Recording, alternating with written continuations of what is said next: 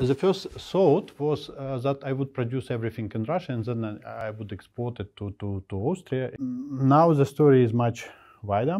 Uh, I met uh, the second engineer, Werner, from, from Austria. He's been working for another electrical vehicle manufacturer more than eight years. Uh, and he's been helping me a lot from converting from prototype idea to something that, that's done seriously. Uh, the first vehicle has been not only assembled but has been produced also in Austria. Uh, we made some drawing and then we put the drawings to metal manufacturers, to manufacturers of uh, plastic, to manufacture of that, that and that. And uh, altogether now it's about 20 uh, suppliers.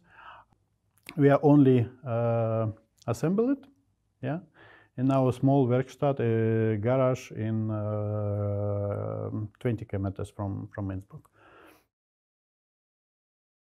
At that moment, 2019, uh, I met not only engineer, but I also met an uh, angel investor.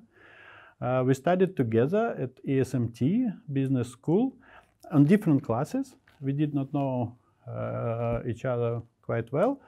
Uh, and I was on an alumni meeting, and it was not uh, mm, my intention to, to find some investor because 90% of people I knew and they knew what I do, but it was so fun. Okay, Sergey moved to Austria to, to make some, some electric Tesla and so, ha ha ha.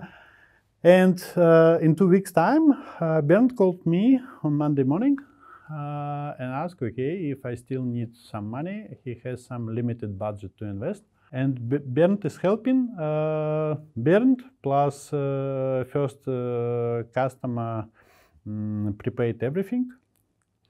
And the first order we did with tiny but margin, with very small but margin.